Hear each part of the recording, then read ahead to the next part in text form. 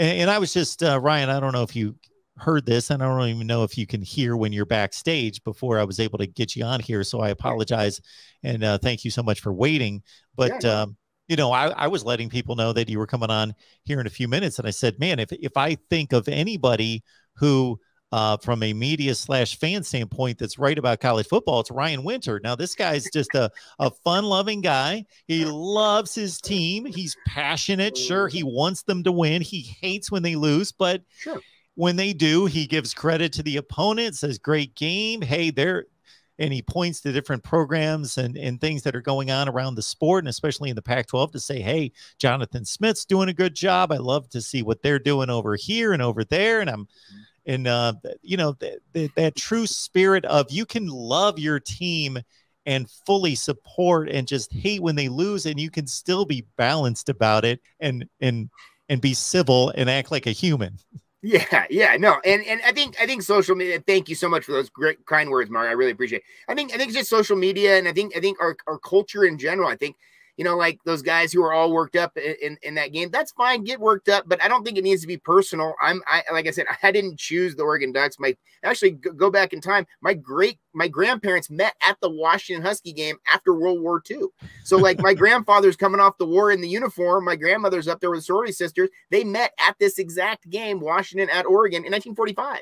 So my family dates way back. We're part of this uh, community, uh, but I also have a lot of love that I'm willing to give. You know, I, I I still think USC is is can be and and has been the best program out here on the West Coast. And people are thinking, okay, well, let's just trash on the Trojans now. That I said, no, no, no, you understand. I mean, I grew up again. This that's that's a place of respect. You you respect that. So when Oregon, when I took my son down there, you know, here I am going around. I said, this is the Olympics. The, two Olympics were held there. I mean, come on, you know, you got to have respect for some of those places like the Coliseum. And other people just kind of, uh, oh, whatever, you know. And then with this rivalry, it's real. I mean, this Washington Oregon rivalry cuts very deep. There's multiple layers to it. And then this week didn't help anything with uh, Jimmy Lake's comments beginning of the week of academically prowess. That was the key phrase all over the place. There was a lot of disrespect going back and forth, thinking, you know, uh, and I I'm willing to be like, hey, I know University of Washington's a better school than Oregon academically.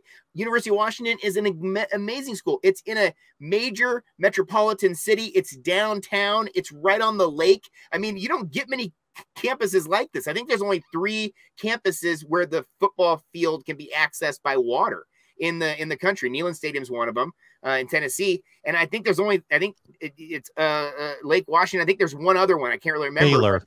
Baylor, right? And and that, those are very special places because of that. There's there, there's a cool thing to that.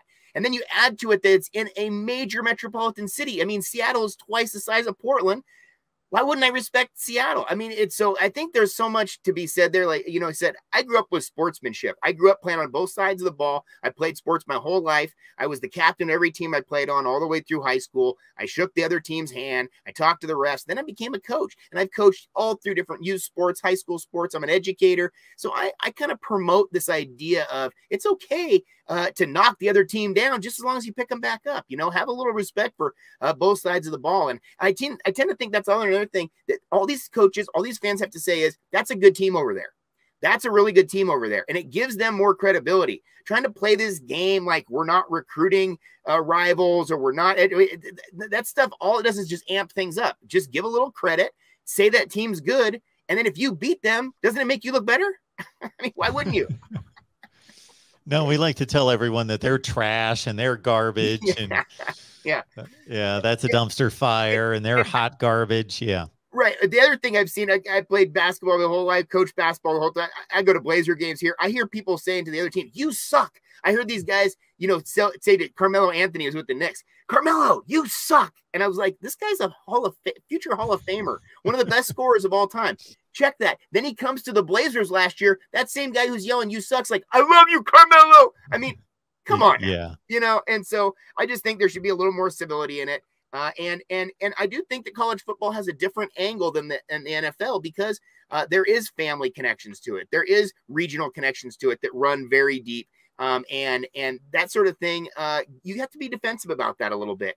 And Washington does stuff like they put little rubber duckies in the urinals, and that's they do that every year. I mean, there's just little stuff like that that's just kind of cute, whatever rivalry stuff. But then there's like full blown Husky fans thinking they're going to go to this game and get in a fight with a Duck fan. Like that's ridiculous. That's that is not. There's no room for that in our in our sport, especially with families around and everything else.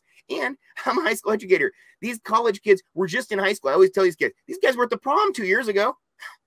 These guys were just two, two, two years ago at the prom.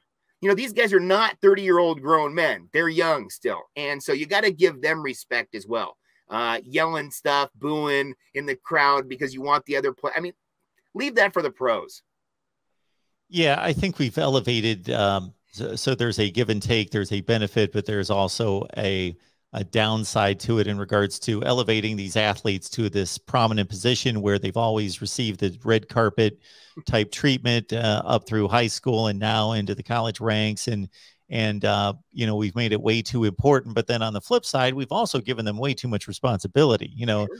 they, they basically have a job is is what they have they they're they're not playing sports in addition to receiving an education. They have a job, and their job is to be a football player, to be a linebacker or a tackle or whatever. So it's um oh yeah.